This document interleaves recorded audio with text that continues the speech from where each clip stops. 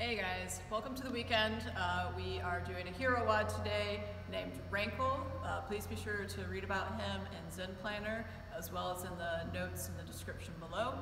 For the warm up, it's going to be 40 seconds on, 20 seconds transition. One round, we're going to go jump rope, hollow snaps, arch snaps, deadlifts, burpees, rows, swings, and then practice our transition from burpee to pull up or row. For the workout, it's a 20 minute AMRAP. You're gonna start with six deadlifts if you have access to a barbell. 225 for the guys is the RX, 153 is the ladies RX. Or if you have two dumbbells, you'll do a double dumbbell deadlift, or if you have a kettlebell, kettlebell deadlift, or a backpack deadlift. Six of those. After that, we're gonna go seven burpee pull-ups, or a burpee to a bent over row. After seven of those, you've got 10 American swings, and then lastly, we've got a 200 meter run today. 200 meter run should take about 45 seconds to a minute. I'm just gonna have you substitute a minute jump rope if you don't have access to get outside and run. Obviously, if you have a rower or a bike, go ahead and substitute 200 meters on the rower, 0.4K on the bike, all right? So for our warm up on the jump rope, you're just gonna jump rope. Remember, you're gonna keep those elbows in, palms face out. You're gonna be bouncing on the balls of your feet as you're jumping. Shadow jump rope uh, if you don't have a regular jump rope, or if you have some other piece of cardio equipment, use that for the 45 seconds, or 40 seconds. After that, we're gonna go hollow snaps. So for this, guys, you're gonna get set up on the ground, feet together, toes are pointed, arms straight, just outside the shoulders. I'm gonna snap up into my hollow, hold for two, reset the ground, snap, hold for two. So arms are straight and covering uh, those ears. For my arch snaps, I'm gonna roll over, hands are still gonna be outside the shoulders, feet together, toes pointed. I'm gonna snap up, hold for two, and back down. Remember, keep the head neutral, so you don't wanna look up, just look down to the ground, hold for two seconds. After that, we're gonna go to our deadlifts. If you have a barbell, warm up with a lighter weight at the barbell.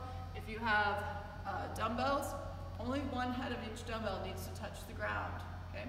So I'm gonna send my butt back, back is flat. I'm gonna tap the ground, one head of each dumbbell, and then stand all the way up. If I only have one dumbbell or a kettlebell, I'll hold it two-handed, come down, tap, stand. From the side, butt back, shins are vertical, back is flat, stand all the way up at the top. You can also do this with your backpack. Our next one's gonna be burpees. For the burpees, I want chest and thighs touching, jump and a clap at the top. If you need to scale, you can step back, stay in this plank position, step forward, still give me a jump and a clap though. After that, we're gonna go to our bent over row. So if you've got your two dumbbells, you're going to deadlift them up, hinge at the waist, and then row to the chest. And then stand all the way up, deadlift them back down. If you have a kettlebell, you're gonna deadlift the weight up, and then row to the chest, or you can have the hands outside of the bell and row to the chest. We can also do this with our backpack. Next one's gonna be our swings. So for the American swing, we're gonna go overhead. Okay, so we need the arms locked out overhead. Bell's gonna start just a few inches in front of the feet. I'm gonna push my hips back, aim for the wrist to be in that upper groin area, squeeze my butt, and lock out over top. If you need to modify, you go to forehead height or shoulder height, and then a half swing back down to the ground. If you only have a dumbbell, one dumbbell, just interlock the fingers like so, and squeeze at the top. If you have two dumbbells, you can do a skier swing outside of the hips, and then all the way up to the top, or just come to shoulder height if you need to. Our last one is going to be our practice of our transition with our burpee pull-up. So we're going to go over to the rig. For the RX, I'm going to burpee and then go right into my pull-up.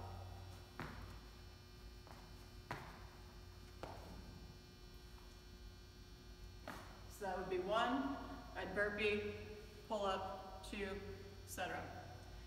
You can also do this as a strict pull up. You don't have to, but if you wanted to. You burpee,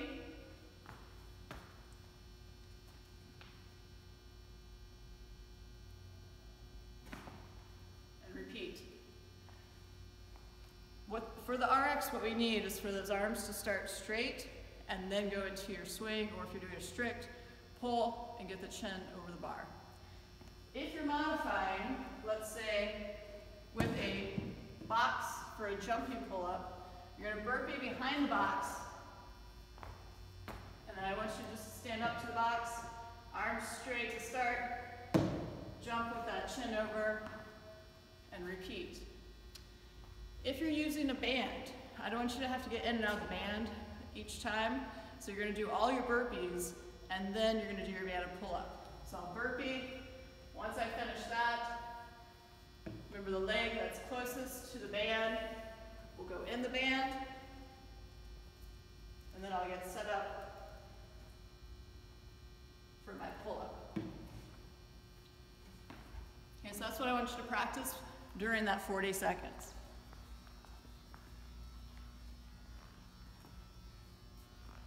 So for the WOD again, you've got six deadlifts. Remember, if you're using your dumbbells, one head has to touch on the outside of the legs. You can use your kettlebell, a backpack. If you have a heavy sandbag, feel free to use that. Seven burpee pull-ups or burpee bent over row. With a burpee bent over row, you're gonna burpee, grab your weights, row. And you'll do that for seven reps. After that, we've got our American kettlebell swings. If you don't have a kettlebell, you can use dumbbells, backpack, and then lastly, 200 meter run, or a minute of jump rope. If you don't have a rope, guys, you can do penguin claps. For the penguin claps, I want you to focus on clapping the hips two times while you're in air. Okay, so you're gonna keep the hands by the sides.